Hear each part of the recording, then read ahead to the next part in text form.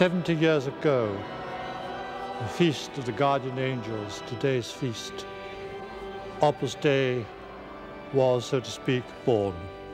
50 years ago, Opus Dei came to England. So these are reasons enough to praise and thank God for the work that has been done in and through its members. Gloria in excelsis Deo. Oh.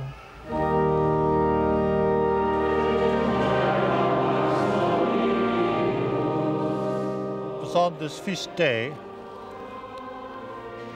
1928,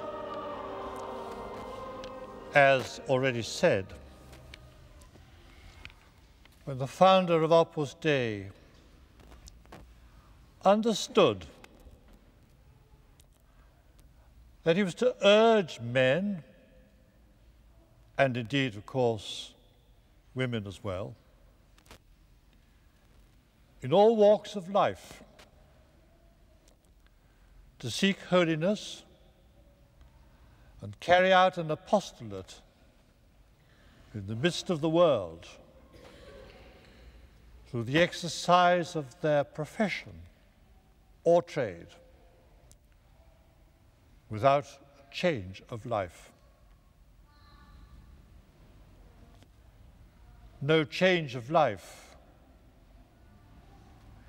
but surely always a constant change of heart. But already those words, 70 years ago, anticipated the Vatican Council's decree on the place and the role of the laity in the world. The laity to live out their lives and to grow in holiness.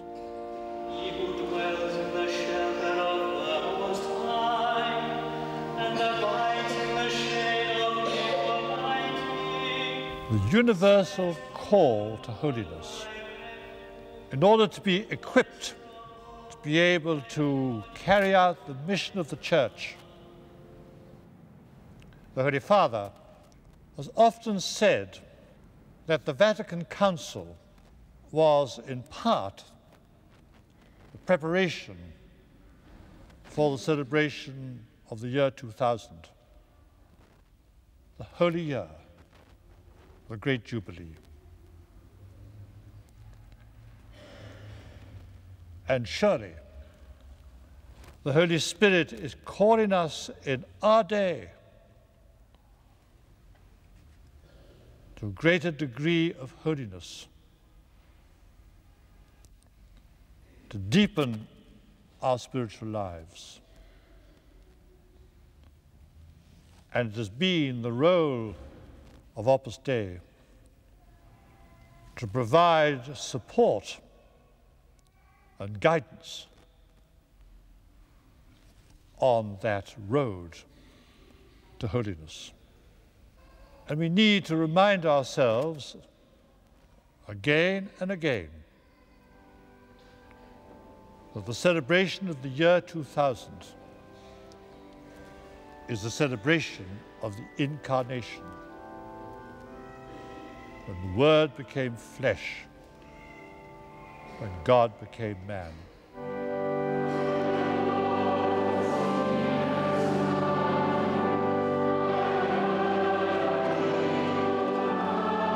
And I would like to speak about two texts from the New Testament. And I find as I prepare for the Holy Year and speak about it, they reoccur again and again to my thinking. I like to think too to my prayer. But go back to that scene in the synagogue at Nazareth when our Lord had read from the prophet Isaiah how the Spirit of the Lord is upon me. He's anointed me to preach good news to the poor. And then the prophet showed various signs to show the presence of the Spirit. At the end, he rolled up the scroll, handed it over to the servant of the synagogue, and then we read all eyes in the synagogue were fixed on him. And for my part, in our preparation to celebrate the great Jubilee, I would take that as the theme. All eyes fixed on him. He broke the bread, gave it to his disciples, and said, Take this, all of you, and eat it. This is my body, which will be given up for you. And then that other text from St. John's Gospel. When we read, This is eternal life, that they know Thee, the only true God, and Jesus Christ, whom He has sent. Take this, not to know Jesus Christ in an academic manner, not to know all about him. Do this in memory of me, but to know him and to be involved with him because he is the way, the truth, and the life. Let us proclaim the mystery of faith.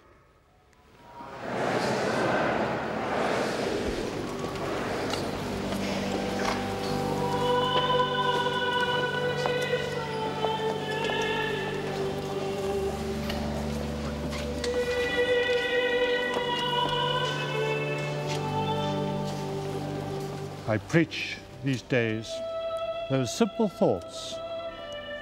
All eyes in the synagogue are fixed on Him. Jesus Christ, true God and true man. Jesus Christ, whom to see is to see the Father. Jesus Christ, who is the image of the invisible God,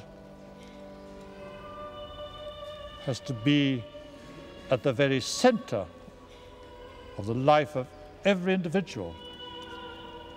And in these months that come, and the months that follow the preparation, to discover Christ in His Word and the Gospel, to discover Christ in the Blessed Sacrament, to be involved with Christ in the great mystery of Christ, which is the Mass, sharing as we do in this celebration in his death and his resurrection.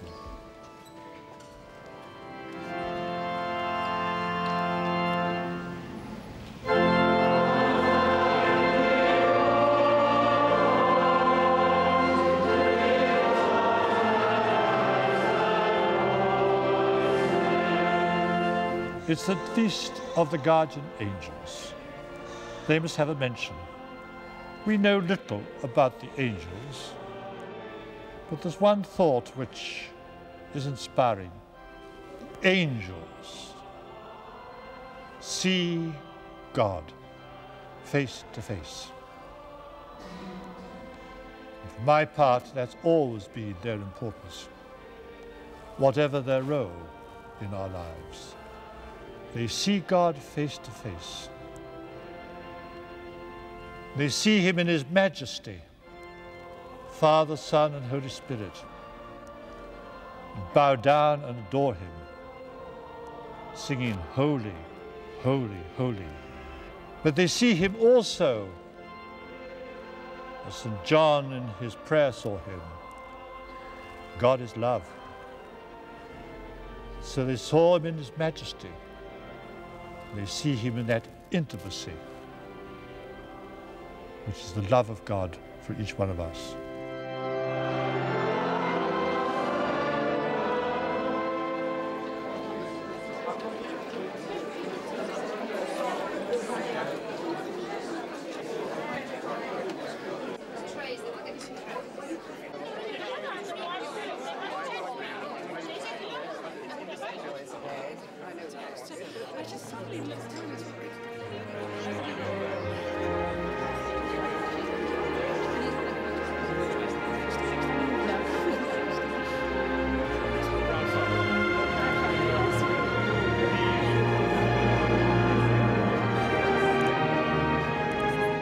Members of Opus Dei, you have a grave responsibility to respond to the call to holiness, to use the help and assistance that you can get, but always not for ourselves, but for mission, to carry the gospel into the world in which we live.